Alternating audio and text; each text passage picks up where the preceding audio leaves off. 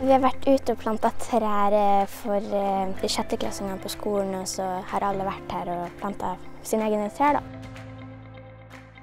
Det er viktig å tenke tre fordi det er veldig mye CO2 i atmosfæren nå, og treet absorberer, eller tar det inn, sånn at eh, Det separerer karbonen, oksygenet, og puster ut oksygenet, sånn at vi kan puste det inn, da, så vi kan leve selv.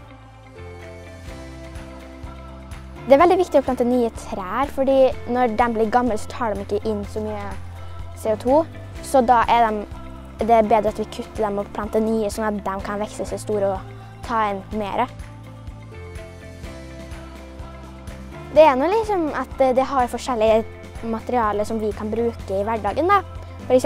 planker, og planker kan vi lage hus som vi kan bo i. Og Ved, som man kan bli varm av når man har peis, eksempel. Og tre er jo en av de grunnene til at vi lever, da.